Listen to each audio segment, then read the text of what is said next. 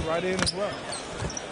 And there, Clark rejecting Thad Young. He tried to use his quickness on him. There's Howard. You can. Whoa! He missed the dunk.